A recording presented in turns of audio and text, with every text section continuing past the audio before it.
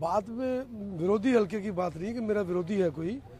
बात यह है कि जो अभी पता लगा कि रात ड्यूटी पर रहते हैं, जो गनमैन और सिक्योरिटी के आदि मिले हुए हम लोगों को, सारे उम्मीदवारों को, वो कैंडिडेट के बाहर ही सुबह डेड बॉडी मिली है, पता लगा है कि उसको गोली मारी हुई है। अब ये गोली किसने मारी है, क्यों मारी है, और ये उम्मीदवार के जिसकी सिक्योरिटी थी, उसी के घर के बाहर डेड बॉडी मिली है, ये बहुत सीरियस मैटर है। मैं समझता हूँ इसको बड़ी हाई लेवल इंक्वायरी होनी चाहिए, क्योंकि अभी पता लगा है आप लोगों से ही कि सुइसाइड का केस सुसाइड आदमी कैंडिडेट घर थोड़ी करेगा। सुइसाइड कहीं और जगह करेगा, या वो अपने घर के बाहर करेगा। एक आदमी सुबह से ड्यूटी के ऊपर है, और वो ड्यूटी ख़त्म करने के बाद जब अपने बाहर जाना था छुट्टी करके तो वो उसकी बाहर लाश मिली है डेड बॉडी और वो भी सुबह पता लगा है। ये बड़ा सीरियस मैटर है। मैं समझता हूँ कि बड़ी हाई लेवल इंक्वायरी होनी चाहिए।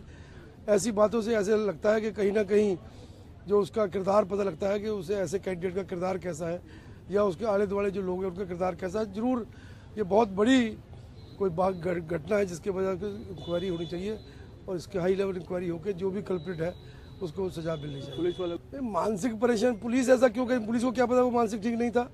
अगर ऐसे आदमी को सिक्योरिटी को ड्यूटी लगाई है तो वो कैंडिडेट घर में थोड़ी अपना अपने आप को गोली मारेगा। वो तो ऐसी मैं बात नहीं मानता। एक आदमी सुबह से सिक्योरिटी के ऊपर लगा हुआ है इसकी बहुत हाई लेवल इन्वेस्टिगेशन होनी चाहिए। बड़ी सीरियस मैटर है और इमीजिएटली इंक्वायरी मार्क होनी चाहिए। वो गरीब आदमी, उसके छोटे छोटे बच्चे हैं, उसका परिवार अब क्या करेगा? मैं नहीं मानता कि पुलिस में रह के कोई आदमी सुसाइड कर सकता है। शुक्रिया।